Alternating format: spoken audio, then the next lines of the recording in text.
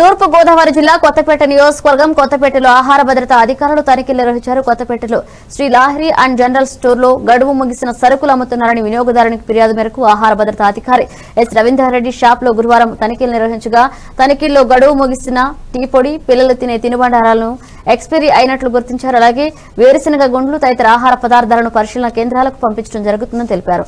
దీనిపై కేసు నమోదు చేసి కాకినాడ జెసి కోర్టులో సమర్పించనున్నట్లు ఆహార భద్రత అధికారి రవీంద్రారెడ్డి తెలిపారు. తొమ్మిదో తారీఖు. బిల్లు అడిగితే బిల్లు విధంగా రాసి ఇచ్చేస్తారు రాని కదా సార్ వచ్చిన అందరికీ కూడా ఇదే పరిస్థితి.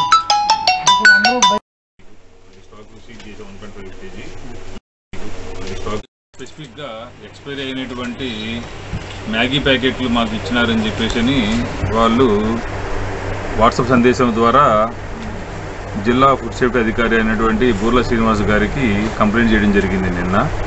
కంప్లైంట్ చేసే సదరు జిల్లా ఆఫీసర్ వారు నాకు అది కంప్లైంట్ ఫార్వర్డ్ చేసి ఆ షాప్కి వెళ్ళి తనిఖీ చేసి ఏదైనా స్టాక్స్ ఉన్నాయో లేవో చూసేసి ఉంటే స్టాక్స్ సీజ్ చేసేసి కేసు రాసేసి ఫర్దర్గా ఏదైనా అనుమానాస్పదంగా ఏదైనా ప్రోడక్ట్ ఉన్నా కానీ శాంపుల్ తీయమని చెప్పి చెప్పడం జరిగింది.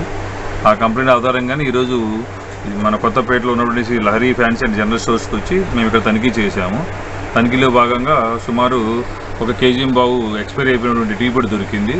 ఒక రెండు వందల యాభై గ్రాములు అంటే ఒక ఇరవై ఐదు ప్యాకెట్లు సుమారు చిన్నపిల్లలు తినేటువంటి పఫ్ కారం పఫ్ ప్యాకెట్లు దొరకడం జరిగింది. వాటిని సీజ్ చేసేసి మేము ఇక్కడ ఇప్పుడు పంచనామా రాస్తున్నాం మధ్యవర్తి నామా.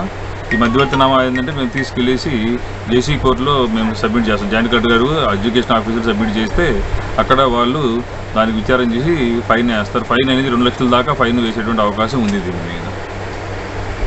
తర్వాత అదే వినియోగదారు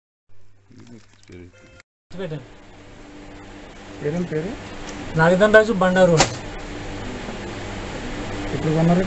తొమ్మిదో తారీఖు అండి. ఈ నెల తొమ్మిదో తారీఖు నాడు తీసుకున్నాను ఇక్కడ నేను. తీసుకున్నప్పుడు ఏం చూసుకోలేదండి పట్టుకుపోయాను. పన్నెండు తారీఖు నాడు మ్యాగీ తింటే మ్యాగీ నాకు ఫుడ్ పాయిజన్ అయ్యి నా హాస్పిటల్లో పడ్డాను.